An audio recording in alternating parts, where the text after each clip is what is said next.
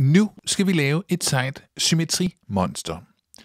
Hvis I har arbejdet med spejlinger og symmetri i din klasse, så ved du godt, at vi kan lave sådan en linje her, som vi kalder for en symmetriakse eller en spejlingsakse. Hvis vi vil lave et symmetrisk billede, så skal vi, når vi placerer en figur her på den ene side af symmetriaksen, placere den samme figur det samme sted på den anden side af symmetriaksen sådan her. Og det er sådan, vi laver et symmetrisk billede. Og du kender sikkert godt til symmetri fra naturen, hvor mønstret på en sommerfugls vinger ofte er symmetrisk. Det har du sikkert prøvet at tegne. Og den her akse, eller den her linje, der går ned i midten her, den kalder vi faktisk også for en foldeakse, fordi vi, hvis vi folder lige præcis på aksen, vil få mønstret på hver side af aksen til at ligge sig ovenpå hinanden. Og når vi nu skal til at lave vores symmetrimonster, så skal vi faktisk også folde. Du skal bruge et stykke hvidt papir. Hvis du har et stykke farvepapir, så skal du også bruge det. Men hvis du ikke har, så tager du bare to stykker hvidt papir. Så skal du bruge en saks, en lim og nogle farver.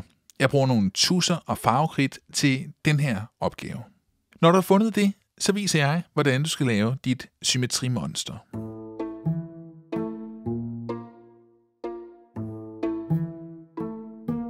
Du skal starte med at tage dit ene stykke papir, og hvis du har et farvet papir, så er det det, du tager først.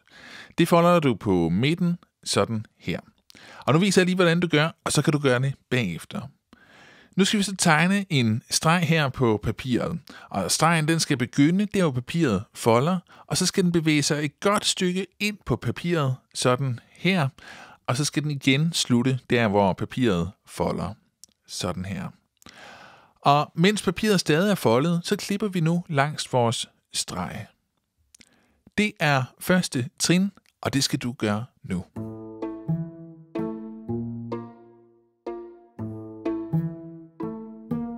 Har du prøvet at åbne din figur? Altså, her er vores foldeakse, og på hver side, der er den her figur faktisk symmetrisk. Nå, nu lukker vi igen, og så skal vi igen tegne nogle figurer, og de her figurer, dem skal vi klippe ud lige om lidt. Og figurerne, de skal begynde at slutte der, hvor papiret folder. Sådan her. Du bestemmer selv, hvor mange du tegner, og hvordan de skal se ud. Men prøv at se, jeg laver fire her. De figurer, de skal også klippes ud, mens papiret er foldet. Sådan her. Godt. Og det skal du også til at gøre nu.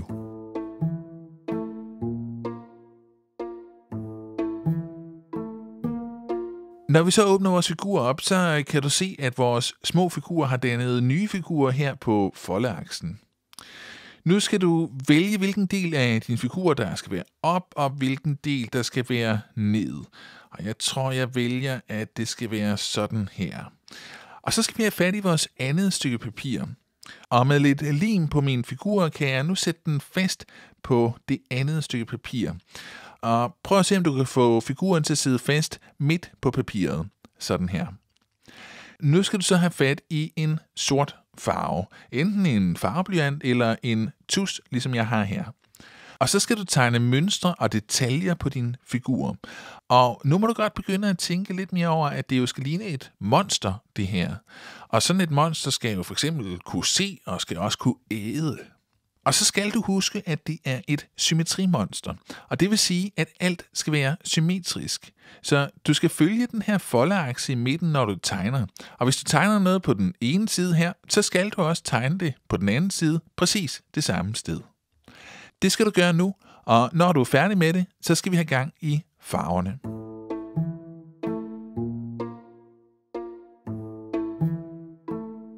Vores monstre, de udsender sådan nogle monsterstråler, og dem skal vi have tegnet med. Og det gør vi sådan her, hvor vi tager en farve, og du bestemmer selv, hvilken farve du vil bruge, og så følger vi vores monster hele vejen rundt med farven sådan her. Når vi har gjort det med en farve, så gør vi det igen med en ny farve. Og sådan bliver vi ved, til der ikke er plads til flere stråler. Kan du se, de steder, hvor min streg er gået ud over papiret, der har jeg så bare forestillet mig, at stregen den så er tegnet videre på bordet, og så er jeg hoppet ind igen på papiret lidt længere henne. Det er også det, du skal til at gøre nu, og så er du faktisk snart færdig med dit monster.